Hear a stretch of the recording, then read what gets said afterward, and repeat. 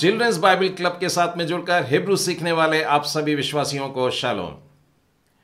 प्रभु यीशु मसीह की वंशावली के द्वारा हम लोग हिब्रू में बोले जाने वाले शब्द और उनके अर्थ को सीख रहे हैं। और आज की क्लास में आप देखेंगे कि प्रभु यीशु की वंशावली के अंतर्गत दाऊद के परिवार से जो लोग चले आ रहे थे, ये सब राजा ही रहे, लेकिन यहो याकीन के बाद में यह कड़ी टूट जाती है। आओ हम सीखें इब्रानी भाषा। आदम से यीशु तक की वंशावली के अंतर्गत आज हम सीखने जा रहे हैं सातवां भाग। आमोन एक दुष्ट राजा था जो मनुष्य का पुत्र था। आमोन 22 साल का था जब उसने शासन करना शुरू किया और उसकी हत्या से पहले केवल दो साल के लिए राजा था। जैसे उसके पिता मनुष्य ने किया था, वैसा ही उसने यहुआ की दृष्टि में बुरा किया। आमोन ने मनुष्य की बनाई हुई सब मूर्तों को दंडवत किया और उन्हें बलि चढ़ाई। परंतु अपने पिता मनुष्य के विपरीत, वह यहुआ के सामने दीन नहीं हुआ। आमोन इस तरीके से लिखा जाता है, आलेफ उसके नीचे आ की मात्रा है, मेम है, वाव के ऊपर बिंदु है मतलब ओ की मात्रा हुई मतलब मो, और फिर फाइनल नून है। तो आ, मो और न और इसे इब्री में भी आमोन इस तरीके से उच्चारण किया जाता है। आमोन शब्द का अर्थ होता है निर्माण करने वाला। अगला राजा, योशिया। राजा आमोन का पुत्र यह था और राजा मनुष्य का पोता था। योशिया एक धर्मपरायण राजा था और अपने पिता के हत्या के बाद आठ साल की उम्र में अपना शासन करना आरंभ किया था। योशिया के शासन का मुख्य आकर्षण यहोवा की व्यवस्था की पुस्तक की पुनः खोज की जानी थी, और वह वही करता था जो यहोवा की दृष्टि में ठीक है। और वह अपने पिता दाऊद की सी चाल चला, न तो दाहिनी ओर मुड़ा, न बाई ओर मुड़ा। राजा योशिया ने राष्ट्रीय पश्चाताप के समय का आह्वान किया। उस देश के लोगों को व्यवस्था पढ़ करके सुनाई गई, और लोगों और यहोवा के बीच में वाचा बांधी गई। कई सुधारों का पालन भी किया गया। मंदिर को मूर्ति पूजा की सभी वस्तुओं से साफ़ किया गया था और देश में मूर्ति पूजा वाले ऊँचे स्थानों को ध्वस्त कर दिया गया था। योशिया के समय से फसा का पर्व फिर से मनाना आरंभ हो गया था। योशिया इस तरीके से लिखा जाता है, इब्रू स्क्रिप्ट में, योद उसके बाद में आलेफ है, ऊपर बिंदु है, शिन है और श है। देखिए, बिंदु कहाँ डला है।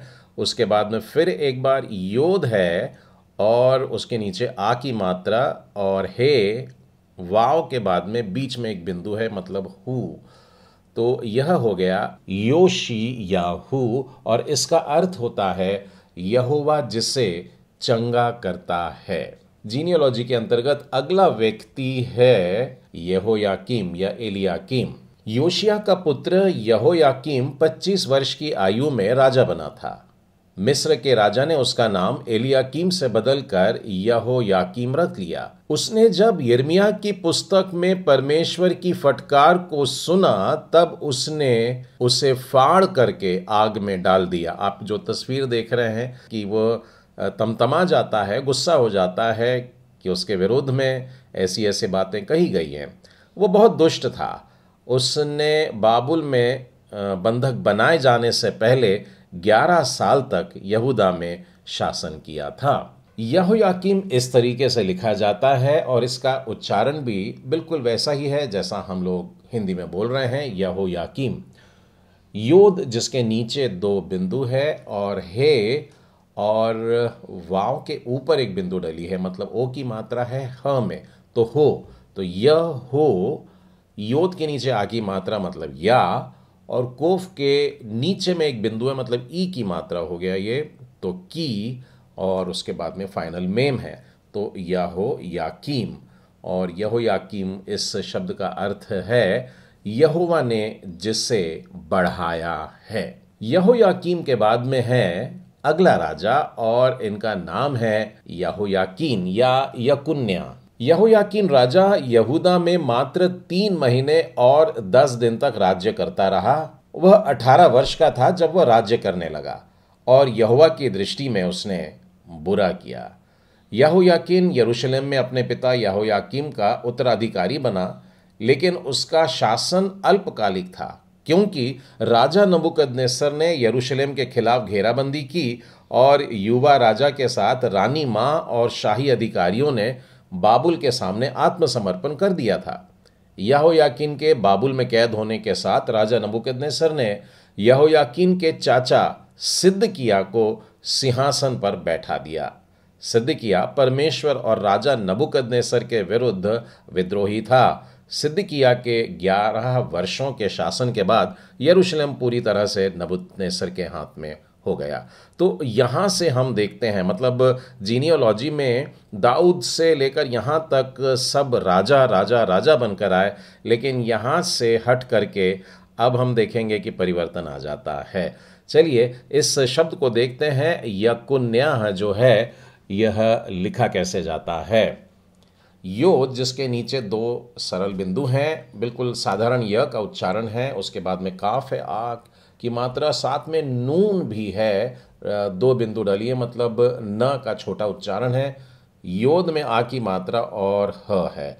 और यकान्या थोड़ा सा परिवर्तन है। याकान्या इस प्रकार का उच्चारण है और इसका अर्थ होता है, यहोवा ने जिसे संभाला है। जीनोलॉजी में अगला व्यक्ति है शालतियल देखिए किस तरीके से लिखा जाता है, शिन उसके नीचे दो बिंदु है, उसके बाद में आलेफ है, उसके बाद में लामेद के नीचे दो बिंदु मतलब ल, और फिर उसके बाद में हम देखते हैं ताव है, और उसके नीचे में बिंदु मतलब ती, और फिर योद है, आलेफ है, और फिर ल, लामेद। तो इसे पढ़ने की कोशिश करिए, श, आ, ल, ती, ए, ल।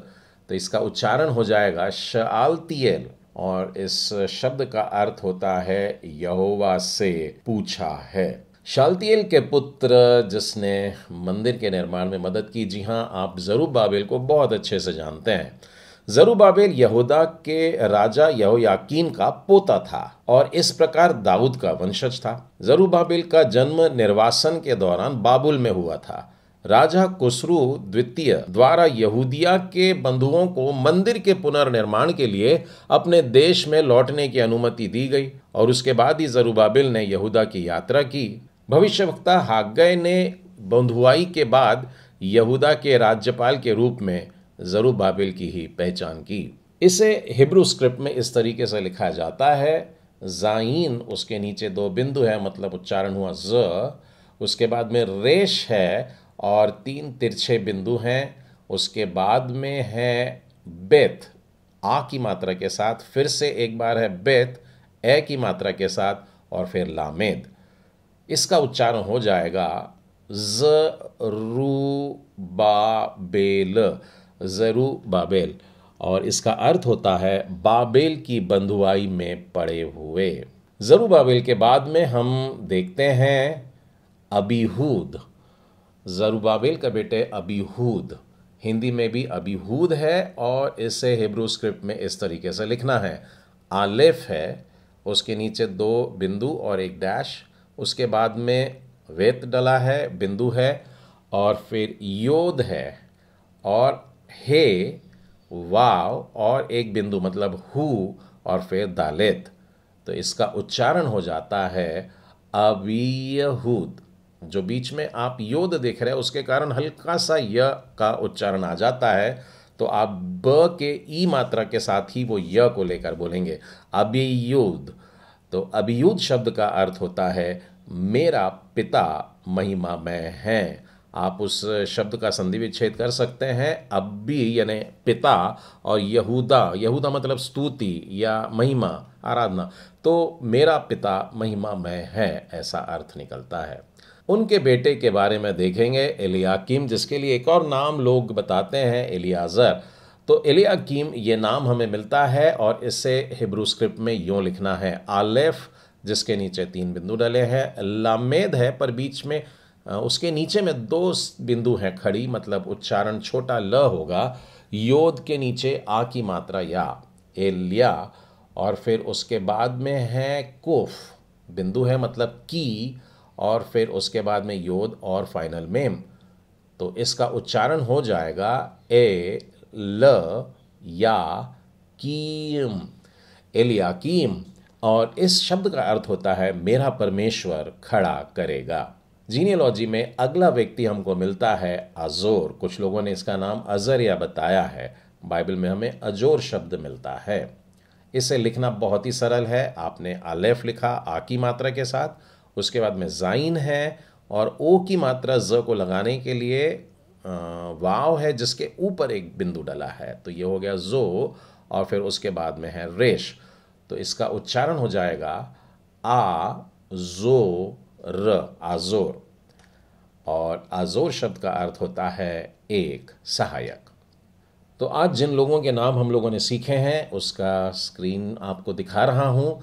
हमने देखा आमोन जिसका मतलब है निर्माण करने वाला योशी याहू यहोवा जिसे चंगा करता है, उसके बाद में यहोयाकीम यहोवा ने जिसे बढ़ाया है, उसके बाद है या यकुन्या यहोवा ने जिसे स्थापित किया है शालतियल यहोवा से पूछा है जरूबाबेल बाबिल की बंधुआई में पड़े हुए अबीहूद मेरा पिता महिमा में है, एलियाकीम मेरा परमेश्वर खड़ा करेगा।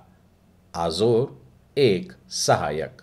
मैं कुछ अक्षरों को या शब्दों को जोड़ना चाहता हूँ, जैसे कि हाँ है, मैंने, का क्या होगा, देखो, भेजेगा।